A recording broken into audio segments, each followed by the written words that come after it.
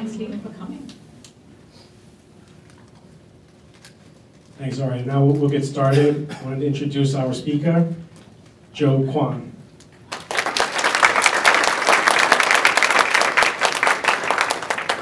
Let me get the mic on.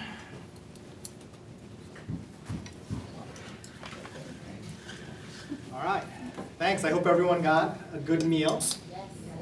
My name is Joe Kwan. I'm a lawyer. Super Harry Potter fan. Who knows what school this is? Hufflepuff. I think I heard someone say it. And shameless consumer of self-help books. So I'd like to thank the Hispanic Latino Network leadership, as well as the Asian Pacific Islander Network leadership, for asking me here today to talk about a topic that is near and dear to my heart, connection. So what do I mean by connection?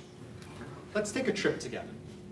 How many people do you think you meet in the course of an ordinary day? You get up in the morning, start your commute, maybe you pick up something, get into the office, you're gonna run into people in the hallway, in the break room, maybe in the restroom. Hopefully they let you out for lunch. and then in the afternoon, it's lather, rinse, repeat, right? And then at the end of the day, you either head home or maybe you have some errands or social engagements. How many people do you think you meet over the course of an ordinary day? 100. All right, so hold that number in your head, okay? Now, I also want you to think about someone that you have a really great connection with. You, you click with them, right? So the conversation's always flowing, there's no awkward silences, and it doesn't matter whether it's been an hour, a day, or a week since the last time you saw them. You just pick up right where you left off. So do you have someone like that in your mind right now? Great. Now think about the feeling you have when you're around that person, right? Think about the good feeling you have. Now imagine you could have that same feeling that you have with that person to all the people that you meet during the course of an average week. How would that change the way you experience life? Let's take a quick survey. If folks could raise your hands, and depending on how you answer, you're going to put your hand down or leave it up. So please, if you could, raise your hands, everybody. So how many people believe that if you do just your job at work and nothing else, you will receive the recognition and rewards that you deserve? How many of you believe that? That's it. Okay.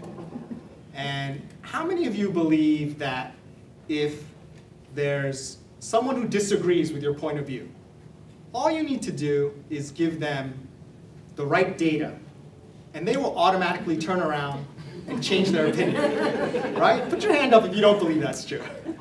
if you don't If you don't believe it's true, keep your hand up. Keep your hand up.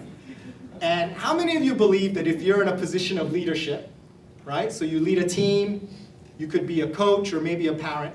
All you have to do is give clear instructions, and people will always do what you want them to do. If you believe that, put your hand down. If you don't, keep your hand up. Okay. Oh. So, yeah. So look around the room. You know what I see? I see a lot of hands that are still up in the air. You, you can put your hands down. Thank you.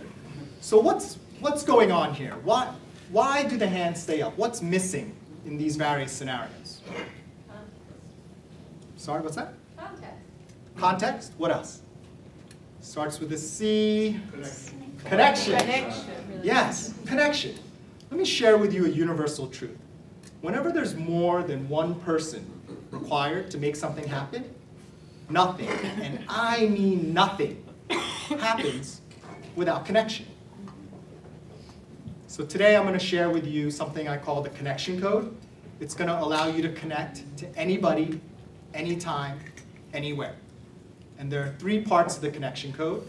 My son helped me come up with this. We call it the three B's. It's be vulnerable, be curious, and be dancing. Dancing? Be dancing. We'll get to that one later.